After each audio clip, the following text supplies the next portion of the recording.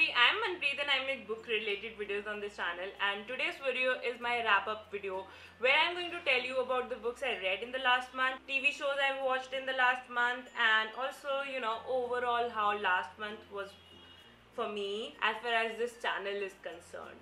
So without further ado, let's get started with this video because it's going to be a bit long so start. I will begin with the books I read last month. Last month I read six books and two, three of them, three of them were a part of series and one of them was by an Indian author. One was non-fiction and two of them were classics. So let me show you what I read and what I think about those books first book that I finished reading was the second book in the Ramchandra series by Amish Tripathi and this is Sita Warrior of Mithila. I absolutely loved this book. I really want to do a review as well. I have been very late, I know. You will know why in the end of this video. But I really liked it. I really liked the narration style and I really liked the characters. I really liked Sita because, you know, most of the times Ramayan is more about Ram and Lakshman and all of the guys and here Sita is a strong character which is like amazing. I like smart and strong women in books and that's why I love this book so much. Moreover, that is not the only element which I loved in this book. There are so many things which I think one has to appreciate. It's like a world level book, not like an India level book for, according to me. So I absolutely loved it. I know a lot of you have tried to read Amish Tripathi and they kind of find it difficult and honestly when I started with Ramchandra series that was I kind of liked the first book in the Immortals of Meluha series but when I actually read this book first book in the Ramchandra series I also found it a bit difficult to you know get it get along with the book but my suggestion to you guys would be that you know do not think of his books as something like a retelling because these are just not any retellings. They can be called retellings, but they are very, very different. So stop comparing his books, stop comparing this Ramchandra series with actual Ramayana, and then you'll be able to read it in a much better way. So that's my suggestion. My rating for this book would be now 4.5 out of 5 stars. The second book that I finished reading is another popular that you guys wanted me to read, and that is How to Be a Bawse by Lilly Singh this is an absolutely amazing book. I have read a lot of non-fictions and to be honest, most of the non-fictions like this which are more about you know self-help advice are similar there is so much of noise outside. They just started now i'm telling you. But i was saying that most of them are similar. However this one was pretty different because of the personality of the author. And i really could connect with this book and i found it really good because of that. I gave it 4.5 out of 5 stars. And i also will do the review of this one and they will be coming soon very soon. The third book that i finished reading and i hope people won't make noise. Like everyone is blowing the horn outside my house. Why? But the third book was the first book in the Infernal Devices series, which is Clockwork Angel. Now, I really, really loved this book. It's set in London and it's about this girl named Tessa who has this special ability and nobody knows who she is. Like everybody knows about the shadow hunter world and there is the shadow hunter world but even the shadow hunters don't know what she is and there is a very uh, engrossing and very nice plot in this book and there are so many references to books because Tessa loves books and I absolutely fell in love with this book. It was like amazing. I would give it 4.5 out of 5 stars. My favorites in the whole Shadowhunter Chronicles so far. It was like on the page one, I knew I would love this book and I loved this book. The next book that I finished reading is the fourth book in the Mortal Instrument series and it's City of Fallen Angels. Now honestly this book is more focused on Simon and Simon was never my favorite character in this whole series and I, do, I feel like I never liked Clary enough and I never liked Simon enough. So this was more focused on Simon but somehow it was really interesting to read. I feel like my experience with this book was much better than the first two books in the series. So I would give it 4 out of 5 stars. I enjoyed reading it. I would not say that I loved a lot of things about it, but I enjoyed reading it. And I think sometimes that is all you need in books. So I'm very happy with it. The second last book that I finished reading is To Kill a Mockingbird by Harper Lee. Now I tried to read this book once before and I could not read this one.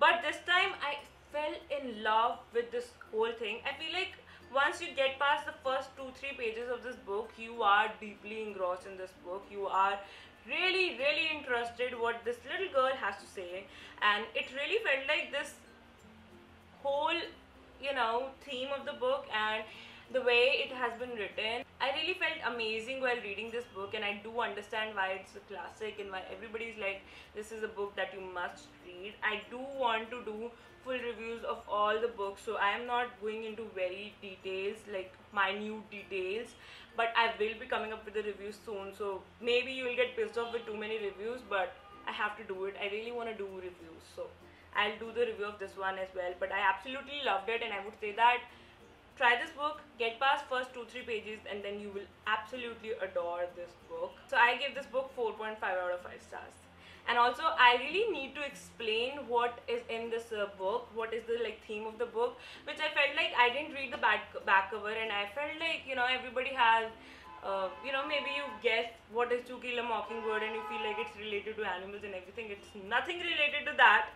Yes, there is a dog in the book, but he dies anyway i really want to talk more about this book in my review so you make sure you subscribe to my channel and turn your notifications on so that you know when i do a review of this book because i have a lot to say about it and the last book that i read in last month was the perks of being a wallflower by stephen chbosky I know I didn't pronounce the name correctly, but anyway, this is a modern classic now, and this was our book of the month. We did a full spoilery discussion of this book in just last day and I'll link that video in the description box down below. If you have read this book, then check out that video. Otherwise, wait for my review because this is an absolutely amazing book and I feel like when you find some good books, you are supposed to wait and read them and then actually know about or you know do a spoilery discussion about them. So i gave it 4 out of 5 stars and i absolutely love this one as well. So these were the six books that i read last month and i was absolutely happy with my reading. I did try to read another book which was so terrible i could not get past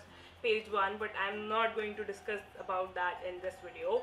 Now i'm going to tell you the tv shows. Now the thing is last month i watched many many tv shows like not in july in june but I forgot to include all of them in my wrap up and I was like petrified because I really wanted to talk about those shows. So let's get started. These are like the shows which I watched in last two months. Number one, Orange is the New Black. It's about this woman who is in jail and you know, it's about all the women in jail and it's so, so, so interesting. All the characters are so amazing.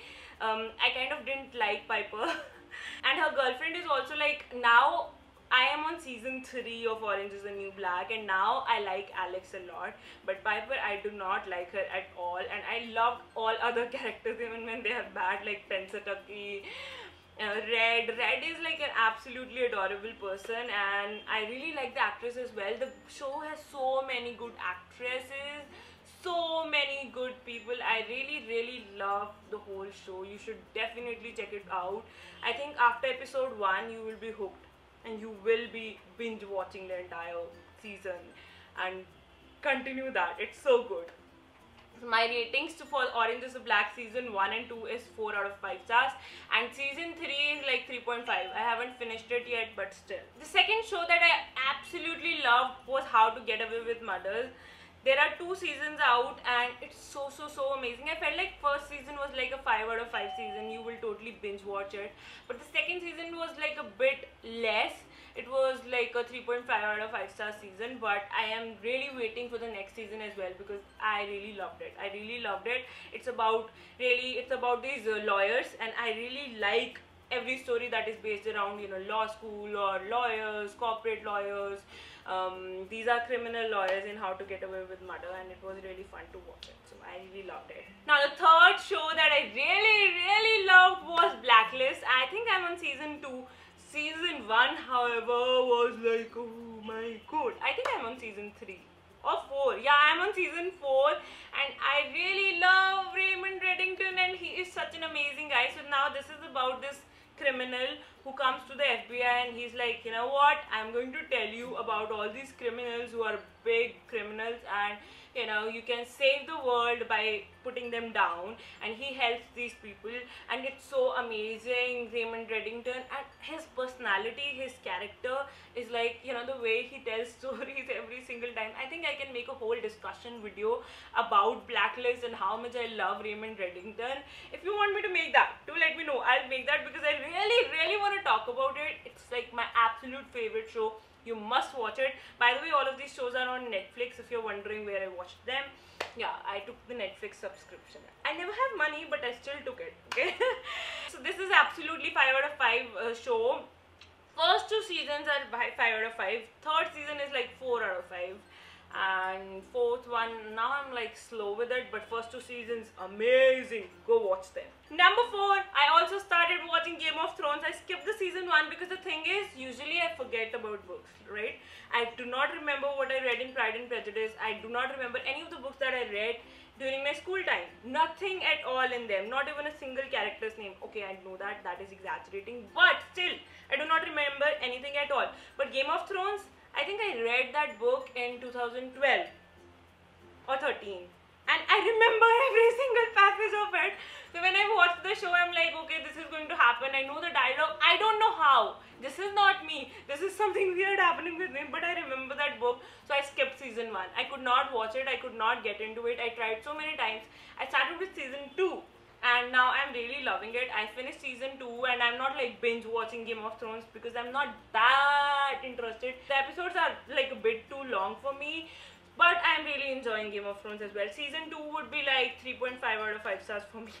I think these were the top shows that I watched. I did try watching Prison Break season 5. Now first four seasons of Prison Break were like amazing and they were they were what they were supposed to be. There was not supposed to be a fifth season, and now that there is, it's terrible.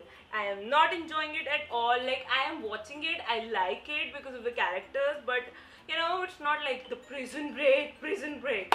So I would give it like 2.5 out of 5 stars. I feel like the story ended in a very good manner and they should not have tried to, you know, make a season 5 it is it is a lost cause lost cause. Yes guys these are the shows that i'm going to talk about in this video. I did watch a couple of more shows but i do not remember the names right now. Yeah memory problem. But that is it for you know my wrap up i do want to address that last month i missed a lot of videos. I make one video every alternate day every odd day.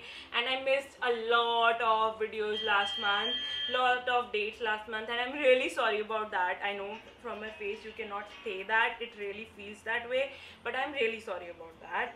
And i will try my best to make up for it this month so wish me good luck and tell me how do you think my wrap up is. Tell me like I am absolutely happy about my wrap up. There are so many good things that I read.